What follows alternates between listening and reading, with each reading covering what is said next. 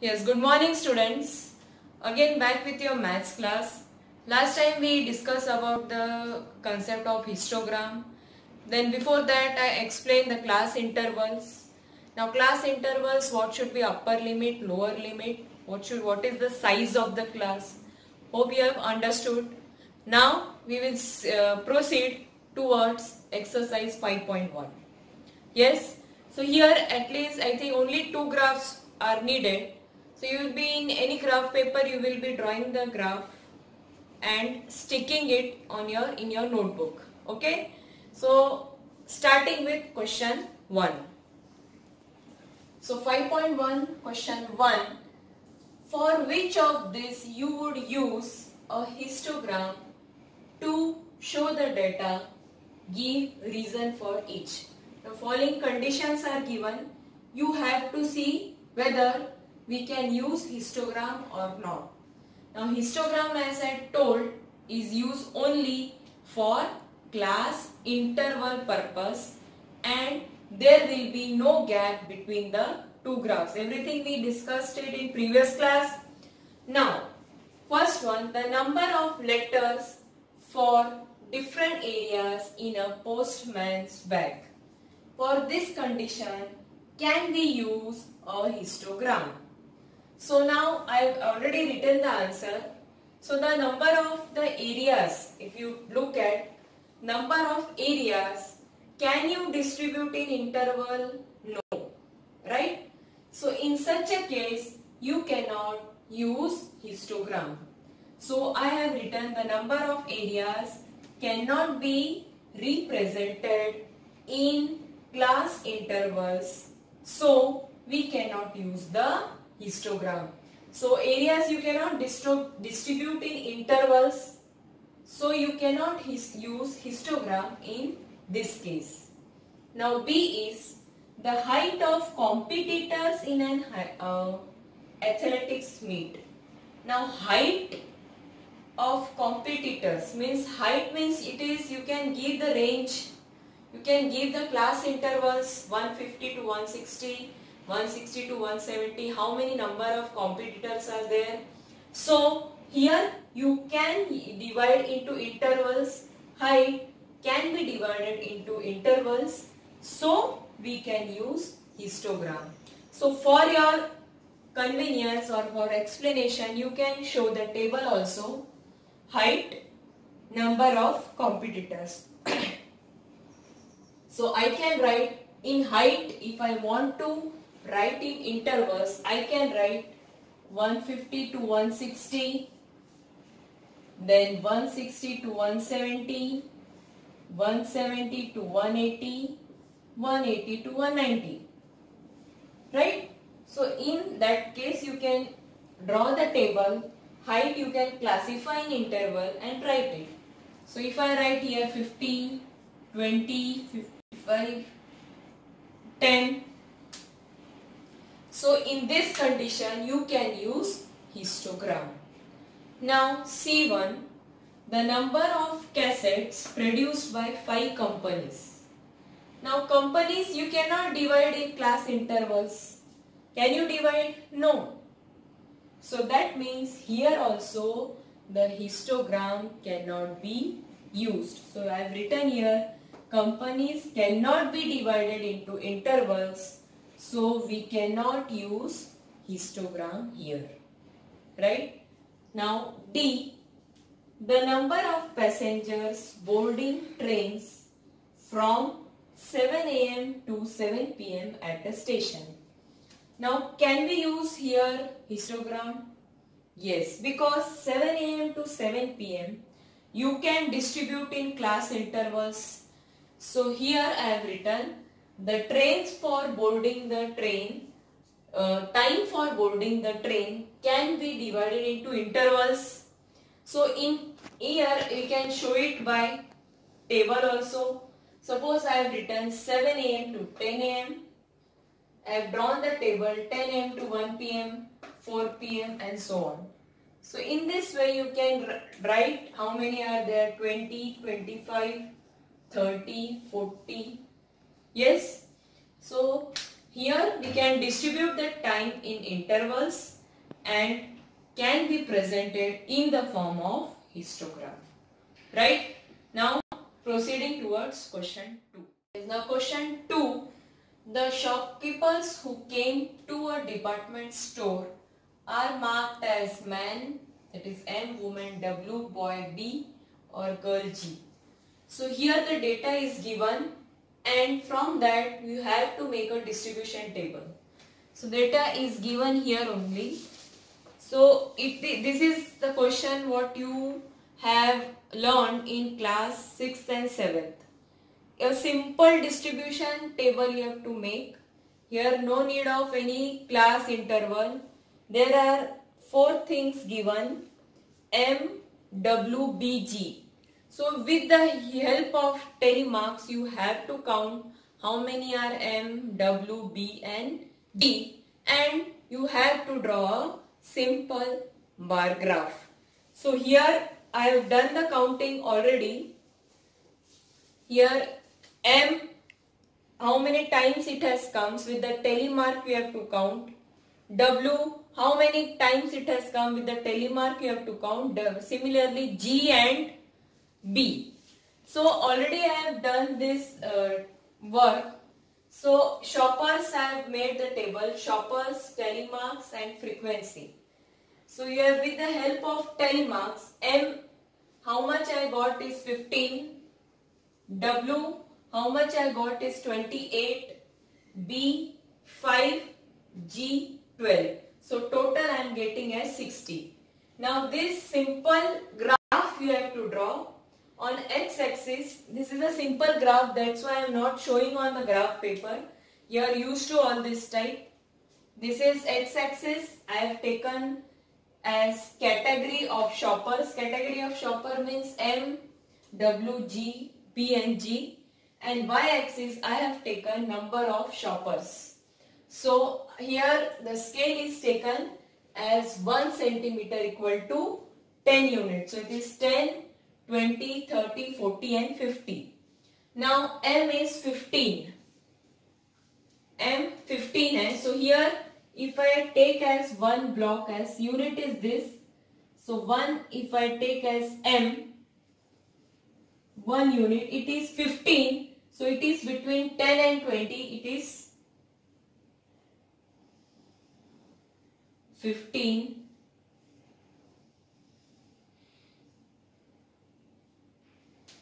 Yes, so it is 15 in the middle.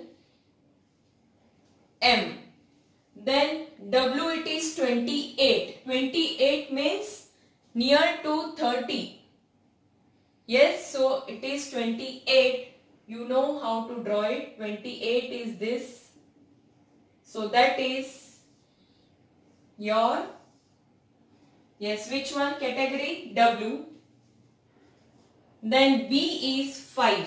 So it will be between 0 and 10. 0 and 10 means this is 0 and 10. This will be B and G is 12. 12 means where it will come between 10 and 20. So this is 12. This is G. So in this way you have to draw a simple graph on graph paper and stick on in your regular book. So the table you have to draw first and then on the other side you have to stick this graph paper. So it is a simple graph. Only the counting part I have done already. This part you have to do it. You can do it easily made the frequency distribution table and plotted on graph paper. Right? So this was a simple problem related with your frequency distribution table. Now we will see the class interval uh, how related to histogram. Exercise 5.1 question 3 and 4.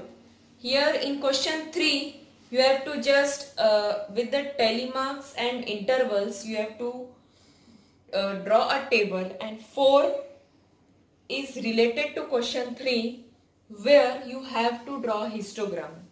So this 3 and 4 on graph paper I will send a short recording. What you have to watch and do it accordingly right? Now question 5 is very simple. Just you can do it in textbook also. Just you have to observe this histogram and answer these three questions. So it's very simple. I am giving you as homework. It, I, you can do it very easily. So 3 and 4 I will send you a short recording with the help of graph paper. And now I am proceeding towards the another topic that is pie chart or circle graph. Now circle graph you might have uh, studied in computer also how the graph is done in a in circular on a circle how the graph is drawn. So this type view of uh, the graph drawn on a circular region is called as a circle graph or pie chart. Now here if I want to plot that you are giving some out of 24 hours you are giving some hours to at studying. Suppose you are giving 4 hours for studying. So pie chart you have studied in class 4th and 5th also where the uh, it was plotted uh, while where the question was that everything was plotted on this pie graph and you were just made to answer the small questions. Now what you have to do all the data is given and you have to make a pie chart. Now the thing is opposite. In lower classes everything was given like this like this, like this and like this. Suppose this is some data given and according to this you have to answer the question. Right? Now the situation will be different. Data is given and you have to draw this pie chart. So that is the thing you have to learn. Now pie chart means as you know, suppose you are studying, uh, these are the uh, different sectors. I can tell you different sectors. Suppose for study I give 5 years. Then for this is for sleep. So I give suppose 8 hour. Then play. So out of 24 hour you, you are distributing this. Suppose I giving 4 hours. Then reading books. I give suppose 4 hours again uh, 6 hour three, uh, yes 3 hour so like this way the 24 hours schedule here if you are distributing 5 plus 4 9 12 12 and uh, 8 20 and 4 hour you are giving 2 hours you are giving for watching TV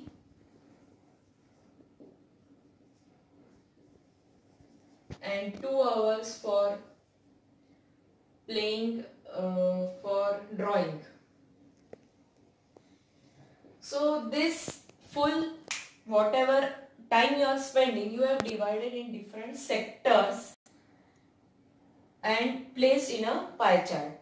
Now every this this is one sector, this is one sector, these all are sectors. So these sectors are having some angle right? This angle you have to find. Now if you see, if you calculate the total number of hours, it is 5 plus 4, 9, 12, 20, 22, 24. So how many are total hours? That is 24. Right? Now for study, how much hours are you giving? It is just approximate. So that for angle you have to find. So how you will find that angle? So for study, I want to find this angle. So it will be 5 divided by 24 into 360. Why 360? Because this whole circle is 360 right Now I want to find the angle for play. How much it will be? The number of hours is 4. So this is study. Then play it will be 4 by 24 into 360. Similarly for reading books, how much this angle will be? This will be 3 by 24 into 360. So different angles we have to find and then plot it. So these angles, so in this topic, you all this data is given. You just have to find these angles by this method and plot a pie chart. Earlier, you were given this pie chart and you were supposed to write the answer depending on the data given. Now, data is given straight away. You have to plot it on this whole circle or whole circular chart that is called as a pie chart. Understood? Now, I am giving one example explaining you where whole data you have to manage in a pie chart, how you will do. Now this is, this one example is given. In this, on a particular day, the sales in rupees of different items of a baker shop are given. Draw a pie chart for this data. Now these are the different items you have to place in a pie chart.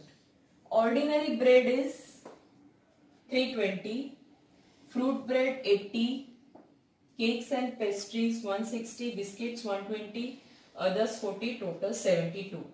So these are these are rupees actually. Now I have to find plot all these things on a pie chart. So for this I have to find angle. So I will make a table. I will make as items then cost, fraction, or you can directly uh, go for angle. Now this is angle. You can call it as central angle. So this is the table.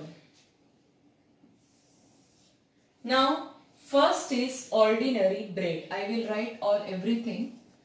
Ordinary bread. I want to place everything this cost in a pie chart. Now second is fruit bread. Third is cakes and pastries. Biscuits and others. Now it is given ordinary bread is 320, 80, 160, 120 and 40. Now I will find the angle. So as I told it will be 320 divided by 720 into 360 degree. So I will do this is my total. What is your total? It is 720. So I will do the ratio 320 divided by 720 into 360 degree. Yes? See, so we will cut here.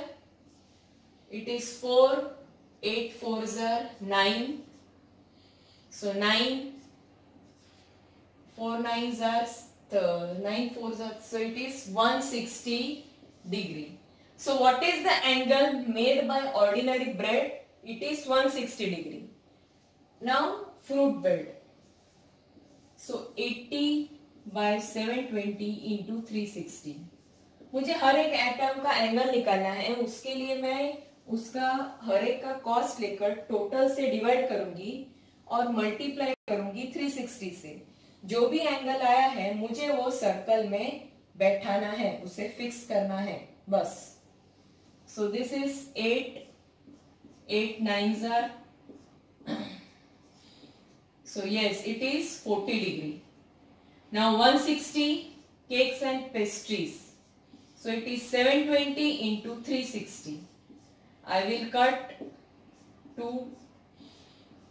eighty it is eighty degree Then 120. 120 by 720 into 360. it is 2 only 60 degree. So it is 60 degree. For others, others I will calculate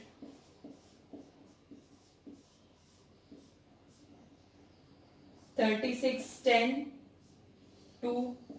2. It is 20 degree. Right? So now one thing you have to see how you will check whether your calculation is right or not. Now I will find the total of all the angles and that should be 360. Why 360? Because your circle is 360 degree, right? Angle. So this is 10, 18, 24, 6. Yes, it is coming to be 360. Yes. Now that means your calculation is right. Now I will place every item with this angle on my circle or I can take circle chart. How I will make.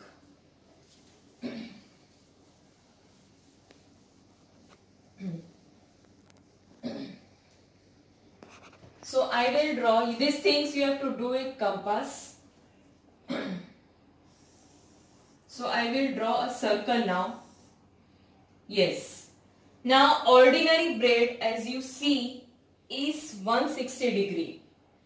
So you know you can take this as a straight line. This is 180 degree. I will start from here. I cannot show now 160. Here it comes out to be approximately here. Right? It is now my I am not using uh, I am just for your convenience I am doing holding this protector. Ordinary bread is 160. So this you can hold it like this. 160 is here at the center. So okay, here is 160 now. Yes, I will draw this line. So this becomes now my which item? This is 160. You can write this is ordinary bread. Now from this, second is fruit bread. Fruit bread is how much degree? it is 40 degree. So from here, I have to draw 40 degree. So I will hold my protector. Now this is my reference line. You know, starting from 0, this is my 40 degree. So I will make like this. So this is 40 degree. Which item? That is fruit bread.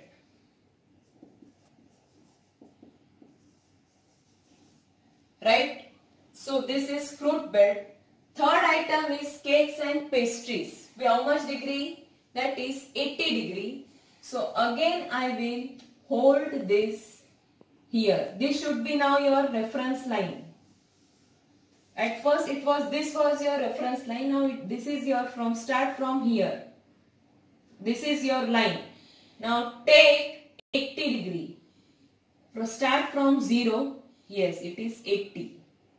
Now I will draw 80 degree.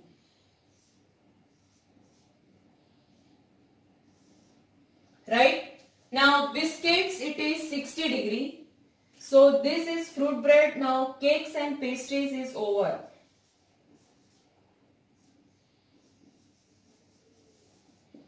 Now 80 degree after is 60 degrees biscuit. So I will now this will I will hold my uh, reference line here now. Now from 0 I will start 60 degrees here so this become 60 degree तो ये हो गया 60 degree तो कौन सा item है 60 degree के लिए? बिस्किट्स तो ये हो गए biscuits so rest is others is 20 degree so if you do this automatically this will be 20 degree only so this is my approximate starting from here here it is 20 degree So I can write here this is 20 degree and this is others. So this becomes my pie chart.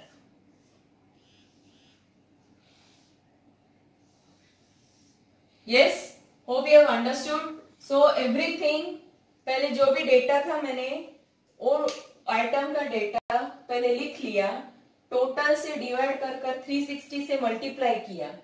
जैसे fruit bed fruit bread का 80 है मैंने total से divide करके 360 से multiply किया। तो मुझे क्या मिला? 160, 140, 80, 60, 20 अब मुझे इन सब एंगल को इस सर्कल पे बैठाना है। उसके लिए मैं एक सर्कल ड्रॉ करूँगी। इसको मैं एक रेफरेंस लूँगी। यहाँ से मेरा प्रोटेक्टर चलना चाहिए। पहला है 160 तो यहाँ से मैं ज़ीरो स्टार्ट करूँगी तो मेरा 160 इधर आ गया। फिर मैं सेकेंड आइटम के लिए प्रोटेक्टर को यहाँ रखूँगी। अब मेरा 40 डिग्री यहाँ आ गया। यहाँ से ज़ीरो से स्टार्ट करूँगी तो यहाँ पे। फिर मेरा 40 डिग्री होने के बाद नेक्स्ट है 80 डिग्री अब ये 40 डिग्री के बाद ये मेरा रेफरेंस लाइन रहेगा तो ये मेरा 80 डिग्री आ गया। अब मैं ये रेफरेंस लाइन लूँगी यहाँ से आ गया 60 और बचा हुआ 20 तो जहाँ आपका फ़र्स्ट एंगल खत्म हो रहा है, वहाँ से आपको रेफरेंस लेके दूसरा एंगल ड्रॉ करना है। Just it is very simple if you do it right so this complete so this is the example already this is example is given in your text book please do it if you do it we will easily complete it exercise 5.2 no problem so in next class i will be taking your 5.2 and introduction to probability so I do the work whatever is given to you. Do this example so that you will enjoy also and 5.2 will be very easy for you. Okay.